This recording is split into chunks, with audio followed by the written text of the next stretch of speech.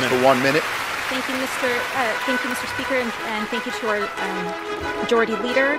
I represent one of the hardest hit communities in the hardest hit city in this country, Queens, New York. 13 dead in a night in Elmhurst Hospital alone. Our community's reality is this country's future if we don't do anything. Hospital leaders and but we have to go into this vote eyes wide open.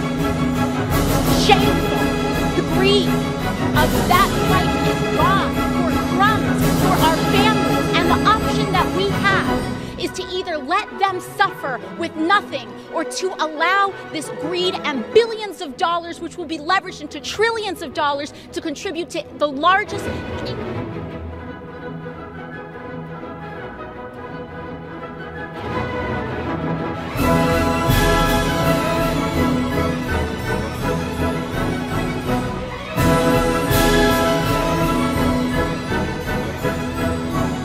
Thank you so much for watching this video. If you like what you saw, please consider donating to me on Patreon. Link is in the description to support future videos. Thanks.